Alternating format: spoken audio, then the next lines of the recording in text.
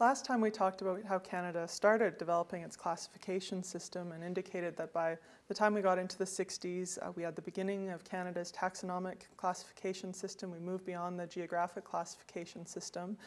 And uh, we're starting to talk in terms of the morphological characteristics of the soil profile and the idea of a modal concept or central concept uh, in terms of soil classification.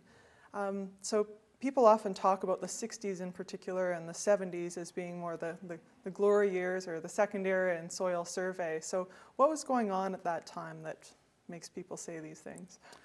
Well, uh, of course, there were uh, meetings of the, uh, I think it was by then, it was called the Canada Soil Survey Committee in uh, Winnipeg in 1963. Uh, there was an important meeting at which they developed the, an interpretive classification, the classification of soil capability for agriculture, which was used by the Canada Land Inventory for, for rating soils uh, based on soil survey information, but for rating soils right across the country.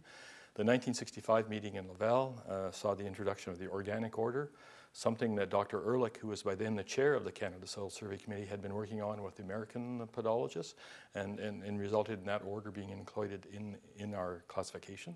But certainly, yes, the 1968 meeting in, uh, in Edmonton at the University of Alberta was, was, a bit, was a watershed or was a milestone meeting. There was, a, you know, there were, th- I think, several important things that happened. One is there was a move to a much more diagnostic or specific classification uh, up till that time, the, each sort of soil group had been based on the idea what, uh, what a modal or a typical individual is like. Well, now they, they introduced the concept of diagnostic horizons for particular kinds of soil, such as the Chernozemic A, which was diagnostic of the, uh, of the Chernozemic order, and the Chernozemic A was well defined, uh, with, with, you know, quantitatively or specifically, uh, or the Podzolic B, the same sort of thing happened. So that was one of the first uh, uh, changes uh, to much more specific classification. At the same time, the similar things were happening in the U.S. with soil taxonomy.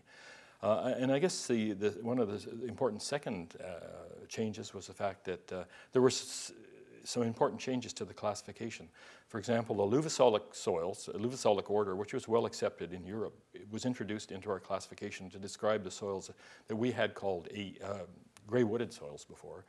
And, uh, and at the same time, the, the, definition of the podzolic order was changed, and it was restricted to basically those soils where the translocation of iron and aluminum, along with organic matter, was the dominant uh, soil forming process. So the, the podzolic order was essentially narrowed uh, in the definition, and there was a much more quantitative um, definition of the podzolic B, which was diagnostic, based not, both on morphology and on certain chemical analyses that had to be done on the soils.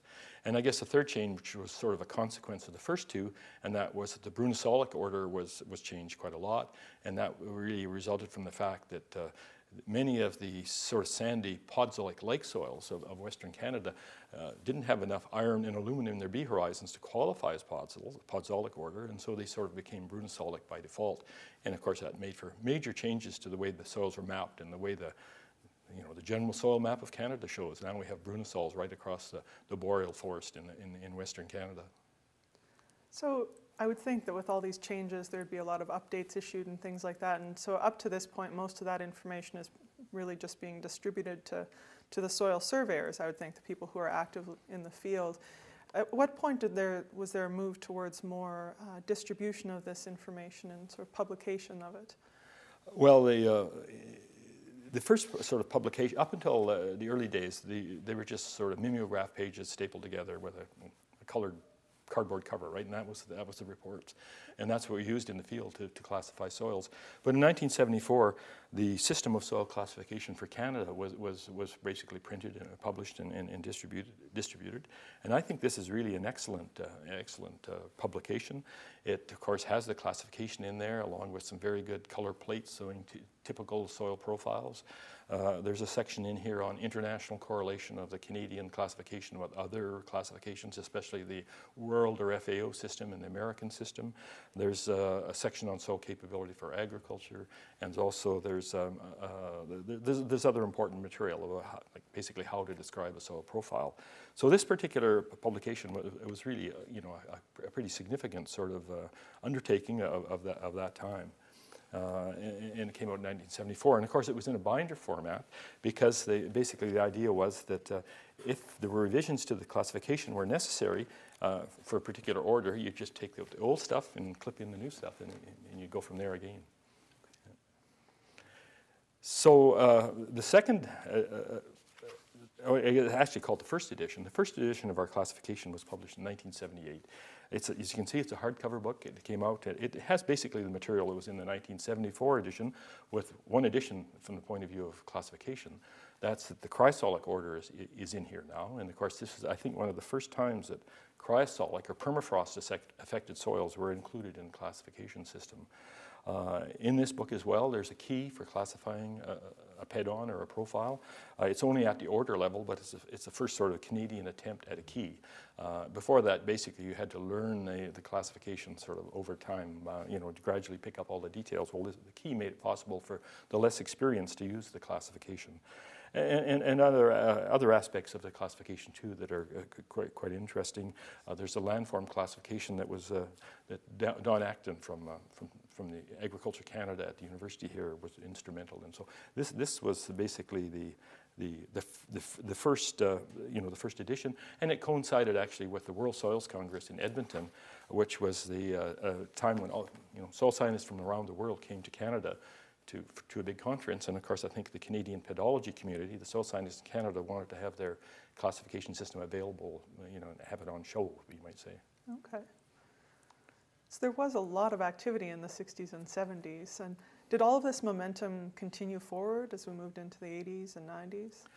Well, uh, not, not in all areas. In, I think in British Columbia and Alberta, there was less, less activity on soil survey. Uh, and actually, the name of the Canada Soil Survey Committee changed again. It became the Expert on Committee on Soil Survey. It was an Agriculture Canada committee, so that was a bit of a change.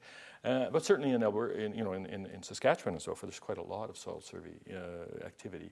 One of, one of, of course, the products of the, of the, of the 1980s was the, the second edition of the Canada Soil, Canada's, Canadian System of Soil Classification. It came out, it's, it's not a lot different uh, than, than the first edition, but it does have some differences in the gleysolic order and the organic order. Once again, a key is included and, and so forth. So it, it, it was, a, you know, a, a, an updated classification. But I think about this time we see a sort of an expanding role of, ag- of Agriculture Canada people in the classification, and perhaps a diminished role from some of the universities and some of the provincial uh, soil survey soil, soil survey organizations. Okay. And so, where is the classification system at at now? Well, uh, where we are now, I guess, uh, through, through, the, uh, through the 1990s is, uh, well, for one thing that happened, uh, in 1998, the third edition of the, of, the, of the classification came out, the third Orange Book. Uh, this, of course, is, once again, it's, it's an evolving sort of system. now we have the 10th order in the, in the classification, that's the vertisolic order. The vertisolic order came about because of um, you know, a lot of research. Much of it happened in Saskatchewan with Dr. Mermut and Dr. Acton and so forth. So the vertisolic order for the, you might say, the, the cracking clay soils of Western Canada, those soils that have a high content of expanding clay minerals, uh, that was included for the first time. And also that, that actually in the late 80s, there was a, quite a, a big field trip that focused on these soils and brought scientists from around the world. So this, this was certainly one of the, uh, you know, in 1998 was one of the major accomplishments. But I think it also should be mentioned that about this time, uh, the soil landscapes of Canada maps were developed. Now, these are what we might call general or small scale maps. They're actually at a scale of 1 to, one, to 1 million, so you can't show a great deal on the map.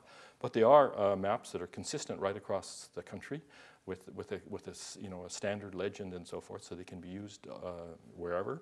Uh, of course, they're well supported by computer databases and GIS and so forth. And actually, they've had, uh, they were intended mainly for sort of educational and policy use, you might say. But they've actually had quite a lot of use as Canada does accounting for some of our climate change uh, treaties, such as the Kyoto Accord, uh, sort of adding up the amount of soil carbon that we have in the country. The, the sort of geographical basis to that that process is the soil landscapes of Canada map, and similarly for some of the work involving greenhouse gases and so forth. The similar sort of base map is being used. Okay, so this second era really saw the, the, the full development of our soil classification system into uh, the inclusion of all 10 orders that we have now. Uh, we saw a, a, lot of the country get mapped at a greater uh, level of detail. And not only can we now view the classification system online, but we can actually access a lot of the, the data, the soil survey data online, which is, uh, it sounds like having a lot of implications in terms of uh, policy and land use planning and uh, both at the federal level and I think there's also increasing use of this uh, in, in the consulting industry as well. So uh, it's very interesting in terms of the, the changes over a relatively short period of time. Thanks.